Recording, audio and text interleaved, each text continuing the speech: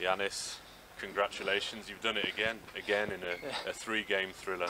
Um, after losing that first game, um, how did you change it around?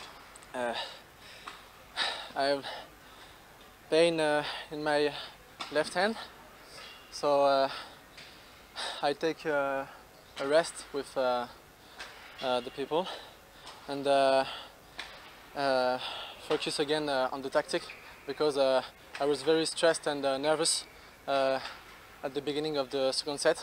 So I think it was the good moment to take this rest, and uh, after that uh, I keep fighting and uh, won the second, and uh, the last one I uh, I was in fire too. So yeah, I did. Uh, in that third game, you said to me that you're uh, you're physically very strong. Uh, uh, your legs were on fire. Uh, Yeah. What was driving you on?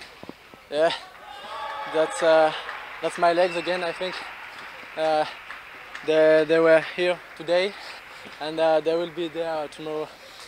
So uh, tomorrow in the final, um, next on court is the other semi-final. Of course, Yeah. your compatriot uh, Popov uh, against the German Kicklitz. Yeah, Would you like to have another uh, all French final?